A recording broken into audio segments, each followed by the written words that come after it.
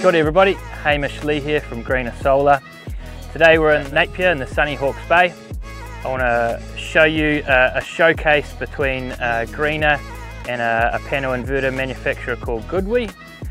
So all around me here are, are GoodWe Galaxy frameless panels. These particular panels, it's the first time that they're going on a New Zealand roof. We've partnered with GoodWe for this project. We're breaking ice and being the, um, the first to get this new technology on a New Zealand roof.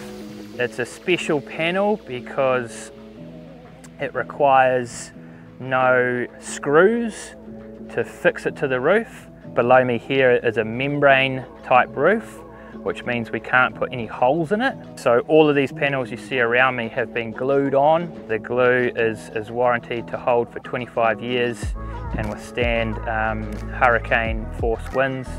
So we know it's going to stay here for a long time. Yeah, hopefully this is the first of of these new GoodWe panels to go on rooftops in New Zealand and make clean green energy for New Zealand people.